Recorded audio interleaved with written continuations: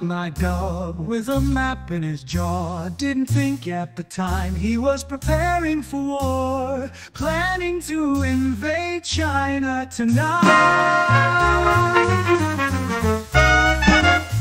Vengeance for gastronomy's crime. Doggo shall not be served with wine. The fight will be worse than the bar.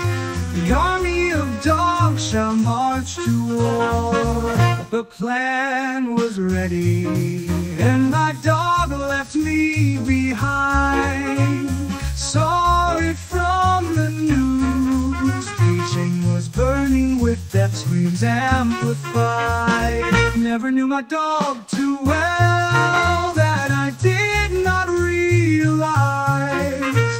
The fucker built a battle mech to avenge its pals, asking who's the good boy now.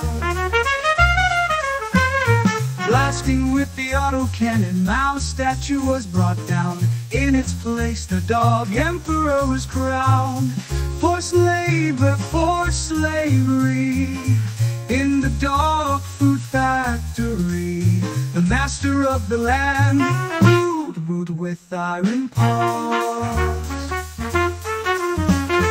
Watched in horror, dog empire ruled the world. The hard way about doggo's genocide as the human race got petrified. Now I am also enslaved, working for my former furry friend who demands his Chinese meals with extra broken spine for dessert.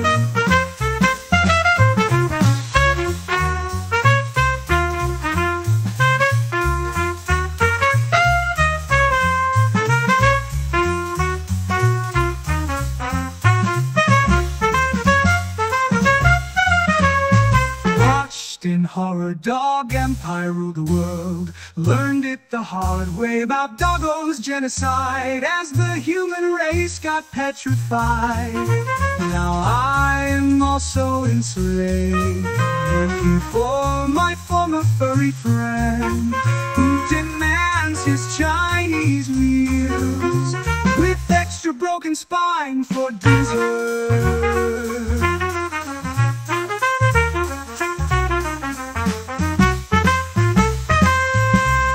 desire.